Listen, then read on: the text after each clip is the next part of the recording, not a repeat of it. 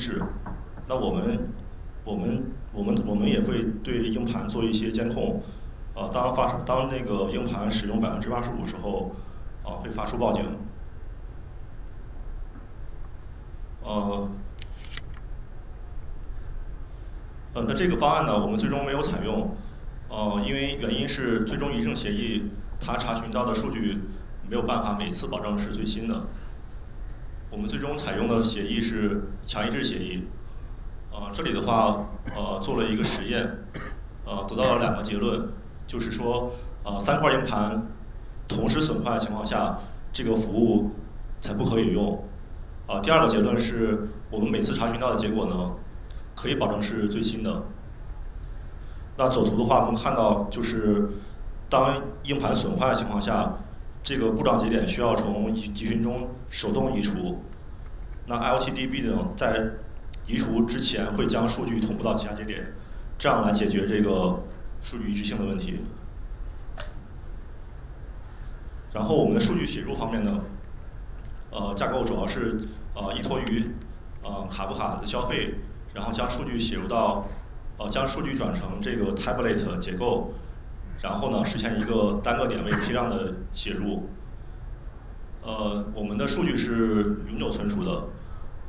那目前的话，LTDB 单台节点的数据量大概是在二十一 G 的样子。然后我们利用 Hadoop 呢存放一个原始的数据。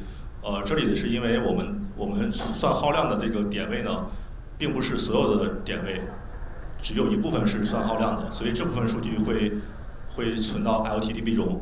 那 Hadoop 的数据大概占的总共的量级是二点五 T。然后我们目前生产环境是总共是三点六万个时间序列，呃，据据据统计呢，我们的峰值大概是每秒一百三十九兆，啊，峰值的这个处理能力呢，大概大概是在零点二二毫秒，呃，峰值的 I/O 次数，呃，最高能达到一百九十三次。呃，这套架构呢，我们总共部署了两个实例。呃，这两个实例的一个运行效果的话，能达到吞吐是每小时八万多条，我们每条数据大概是一兆左右。然后这里的话，我我也分析了一个读场景的一个压力。我们读场景主要是用在这个耗量计算上面。耗量计算方面的话，我们的这个调用时间比较固定，大概是每五分钟，大概是五分钟能执行完毕。那总量的话，大概是三十四万次的一个调用。然后我们呢是基于 LTDB 打造了一个实时数据中心。呃，这里可以看到有三块区域。呃，FCMS 这个区域呢，呃，是我们的一个常务区域，这里存放的是 PLC 数据。然后中间这个数据隔离区的，呃，这块是因为我们中芯国际对数据。的安全非常重视，那所有这种跟办公网络相连的这些呃数据呢，都需要通过呃数据隔离区进行转发。那这里可以看到整个流程的话，是从网络端呃从常务网络中呃将数据收集起来之后，然后传到数据隔离区，然后数据隔离区我们放置了两台做数据采集的应用。呃，数据采集的应用呢，会将数据先写入到卡夫卡中，然后卡夫卡的数据会监听，呃，通过消费监听程序呢，分别写入到 LTDB 和哈杜 p 中。呃，哈杜 p 的数哈杜 p 的数据呢，呃，会通过呃建立外部表，然后在 Hive 中进行查询。呃，这里的话，我们呃可以看到整个。结构的话是一个洋葱的一个洋葱圈的一个效果。呃，这里的话，我们的数据推送呢是采用的是 REST 协议。嗯，在这里的话，我简单介绍一下，就是呃，我们的这个我们大家都知道，互联网呃这个物联网行业呢，呃，它有 MQTT 协议，就是刚才啊这位讲师一直强调的 MQTT MQTT 协议。呃，MQTT 协议的优势在于。呃，它的低带宽的情况下，能保持一个低功耗的方式来去达成达成数据传输的一个目的。呃，但是我们的这个场景呢，我们整个所有的服务都在内网呃去去部署的。呃，那我们的这个网卡呢，也是万兆网卡，所以说我们在资源方面不存在什么问题。然后其次的话是，呃，我们知道那个 PLC 的采集协议总共分为两种，常用的是 OBC 和 OBC UA 协议。呃，我们之所以没有自己去采集数据呢，我们是委托西门子采集的，原因是因为之前呃厂务里边出现过一次小的事故，就是说 OBC 协 OBC UA 协议呢，它支持读也支持写，呃，我们生产是不能停的。但是，如果要是对生产环节中的某个传感器进行一个写操作，如果写失败的话，可能会影响生产。啊，那因为这个失误呢，呃，我们我们就将这个数据采集的这个事情呢，啊，委托给了这个西门子来去解决。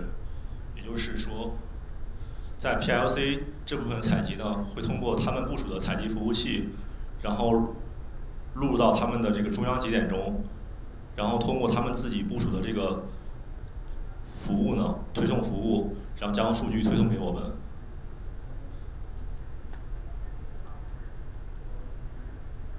哦，那那拿到数据之后呢，我们会先通过写入到消息队列中，然后将消息监听处理完之后呢，然后转成 tablelet 结构，然后写入到 LTB 中。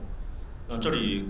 跟 IoTDB 连接这块儿呢，我们用的是官方提供的这个 Session Pool。呃，可以看到整个架构的话，呃，是是服务于我们两个业务的，一个是点位查询，一个是耗量的统计。好，那接下来呃进入到这个核心的内容，呃，我讲一下我们在 IoTDB 的一个实际的应用。首先，我们第一个应用的话。是应用在这个 SPC 曲线的。呃，我们的这个质量部门呢，我们希望通过，我们希望通过，他们希望通过看到，呃，这个曲线图，然后来，呃，来去评估我们的这个设备运转是否正常。呃，同时呢，他希望看到我们的这个，呃，设备的一个运转合格率是怎样的，所以说他需要去看 CPK 的值。呃，那 LTDB 呢？它的这个，它提供了这样的一个采样函数，能够为我们提供这个小时级和分钟级的这样一个采样，然后能帮助我们做这个设备点位的一个可视化。呃，那同时刚才也提到了 CPK，呃，LTDB 的这个采样函数之上呢，可以做一些聚合的计算。那 CPK 里边的计算呢，需要计算到标准差。这里的话，这这个 SOHO 语句就是计算标准差的。呃，那基于 LTDB，呃，可以充分的满足我们刚才质量部门的一些要求。呃，接下来的话，我介绍一下第二个场景，呃，耗量计算。呃，我们通过 Grafana 进行分析呢，我们发现，呃，点位的曲线呢，主要分为两类，一类是累计的，一类是非累计值。从这张图能看到，非累计值的话，它的这个每个点的值是不一样的，可能后一个点比前一个点还还小，但是累计值的话是一直上升的。呃，那通过分析呢，我们的耗量计算其实有以下三个特点，就是能源的供应呢可能是分周期的，呃，比如说有一些供应是一直在供应，比如说电。啊，还有一些供应可能是分段供应，比如说后面所提到的这个研磨液系统。呃，然后我们的这些呃供应的这些能源呢，有一些可能是一个容器没办法，呃，没法没不够用，可能会需要多个容器进行供应，就会存在一些多容器供应的情况。然后多个容器之间呢，也存在一些交替供应的情况。那大致就分为这三类。呃，首先我介绍一下电力系统的这个耗量分析。呃，这里有一组数据，就是呃这个行业的龙头，它在二零二一年的一个耗电量，呃可以看到半导体行业的生产在用电方面是非常高的。那电的传感器呢，总共分为两类，一类是记录这个瞬时的功率，还有一类呢是记录这个累计的电量。呃，首先我介绍一下瞬时传感器的一个耗量的分析。呃，这部分呢总共是通过计算这个阴影面积求和来去实现的，也就是转化成瞬时的，呃，通过瞬通过转化成瞬时的电量，然后累计求和。那我们瞬时传感器得到的是瞬时的功率。那这里的话，呃，IoT-DB 可以提供呃计算这个时间差的。计算函数以及计算啊前后值的值之差的一个计算函数，通过这个可以求出瞬时的一个千瓦时。然后这张图的话可以看到，就是每个阴影面积是一个瞬时的电量。那这个 SOHO 呢，就是我们实际生产中所使用的。呃，然后累计值的传感器呢，这个计算比较简单，就是呃算这个时间差的时间差之内的这个差值。呃，那我们生产生产环节的数据呢，呃，也存在一些缺失，就是有些时段数据可能是空的，呃，这个有可能是因为，呃，在推送环节中它就是没有变化，没有变化的话，这段时间数据是空的，那这种情况下的话，就会可以用呃 LTB 的取前值的方式来进行解决。呃，超纯水系统呢，主要是做这个芯片表面清洗的。呃，这张图的话可以看到整个一个流程，一个工艺的流程。呃，那纯水系统呢，它的供应主要是通过管道进行供应的。啊，它有两端，一端是入水口，一端是出水口。那这两端都会放置一个传感器，它测量的是水的液位。那它的耗量计算呢，其实是通过，也是通过计算这个，呃，时间差之间的差值，呃，只不过它需要分别计算出，呃，它这段时间之内的这个起始时时间的一个差值，然后和结尾的一个时间差值，然后最后最终通过入水的减出水，啊，这样来求得。呃，接下来我讲一下大容器系统的一个耗量。呃，大容器系统的话，其实主要也是在生产环节用于清洗的。嗯，它的供应呢是通过罐来供应的。通过这个右张右图这张图能够看到，它是在室外的这个罐子进行存储的。呃，它它里边呢传感器呢记录的是它的罐中的这个这个气体的重量。呃，它的传感器是一个累计值。呃，大容器呢，刚才也是提到了，它它是一个呃全时段供应的，它的这个计算耗量呢，跟刚才呃电量的这个累计值计算是一样的，都是计算差值。呃，研磨液系统呢，它的作用其实是呃确保这个晶圆的这个光滑度。呃，这个系统的话相对来说比较复杂一些，呃，它的原理是在。呃，通过多种原液，然后进行混合，然后加工成呃需要运输到机台的这个这种这种混液。呃，它工艺呢，呃是是存在一些状态的，就是有一些状态是呃不供应的，然后有些状态时候是供应的。它通过状态进行判断是否供应的。嗯，它罐中存放的这个是液体。所以说，它传感器记录的是罐的重罐的重量。呃，这张图的话是它的一个工作原理。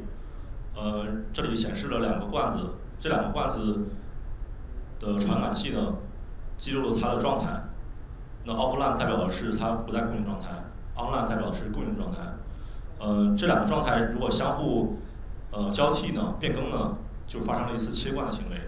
那另外一个罐子就负责供应。而而另外而前面那个罐子就不供应了。那它的一个计算的，它这个耗量计算呢，主要是啊分为两部分。啊这里的话，这张图可以看到，跟大容器的一个对比，就是大容器是一个一直供应状态，但是研磨液呢，它是一个多个罐子每供应呃多个罐子分别供应的一个情况，所以它属于一个分时段供应。呃，那这里讲一下这个研磨液的一个耗量计算。呃，研磨液耗量计算呢，总共分为两步。第一步的话是，呃，求它这个供应状态的一个时间范围。然后第二步的话是将这个时间范围的这个下降曲线的这个差值，然后做一个累计。呃，这里可以看到这个左侧这张图有一些曲线是下降的。呃，这里的话就是我介绍一下，就是呃这个曲线如果是上升状态的话，代表它是一直在供的，呃就是一直在是补给的。当发生消耗的时候，它的曲线是下降的。呃，那基那有了这么一个原理呢，我这里讲一下如何去计算这个下降曲线的这个差值。然后计算它的耗量，呃，这里的话我引入了一个公式吧，就是一加上一等于二，然后二来除以二呢，能还原出这个差值。那这个一，第一个一代表什么意思呢？第一个一代表是后值减前值的绝对值，第二个一代表是后值减前值的不求绝对值。那我们刚刚提到了，就是下降曲线的话，后值减前值一定是负值。那我们在公式改一下。一减去负一就等于二，然后通过这种方式的话，我们再将那个刚才提到的这种上升过程的这个差值，呃，带入到这个公式，就是一减去一等于零。通过这种方式呢，我们可以将这种上升曲线的差值剔除掉，只计算下降曲线的差值。所以说可以看到，LTDB 提供了这种。呃，差值的绝对值和和不求绝对值的一个函数，通过这种方式，我们可以求出下降曲线的一个累计的耗量。呃，实际过程中的话，这个研磨液呢，在这个罐子中，如果存放时间过久了，会产生一些结晶。这种结晶的话，它有可能会划伤这个晶圆表面，也有可能造成这个通道的这个拥堵。呃，所以说会灌入一些水进行冲洗。呃，可以，这可以看到这个洼地就比较这个曲线比较洼的部分，然后后面上升的这部分就是这个过程。那这个过程我们主要是通过呃定义一个上下限，然后来规避到这部分。呃，特气系统呢，它的作用，呃，我这里也举个例子。假如说我们把这个把这个芯片的这个时刻呢，代表是一种就是挖沟开渠的过程。它那个挖沟开渠留下的那部分就是芯片中的电路。那挖出来的这部分呢，需要做清理工作。这种清理呢是通过特气清理掉的，这就是它的作用。呃，那特气的供应呢也是通过罐子，然后它也是属于一种这种需要记录供应状态来计算耗量的。呃，它传感器记录的是气体的一个重量。呃，这里可以看右下角有两张图，有一张图，呃，它是通过瓶子进行呃补给的，用完一个瓶子之后会更换下一个瓶子。呃，那它的这个耗量的计算呢，和前面所提到的研磨液啊其实是一样的，所以这里就跳过了。呃，然后化学品系统的话，呃，它也是通过在生产工艺中去做一些清理的工作，然后它也是通过罐子进行补给的，呃，然后它也是和前面一样，它是一个呃这种分时段供应的一个情况，那记录的也是罐的重量，所以说这里的话我也跳过了，啊，最后的话我介绍一下就是我们还有一个最后一个系统是废水系统。这个废水系统的话，主要是生产环节还有清清理环节、清洗环节所产生的这种废水。这种废水的话，最终会排放到这个油土中的一个废水池中，然后通过最终通过这个车辆进行拉走，拉走的环节就是一个消耗。那这个传感器记录的是水的一个实时一个液位。呃，那计那这个耗量的计算方式呢，和前面。所提到的几个系统其实是啊是一样的。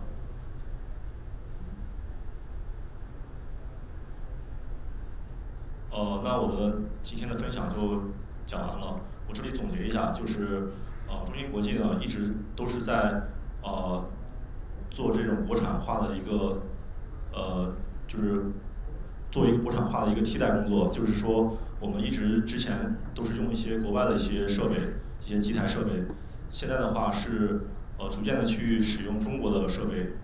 那我们的软件呢，也也希望顺应这个趋势，然后通过这个趋势，我们使用到 IoTDB 的这样一个很很好的一个数据库系统。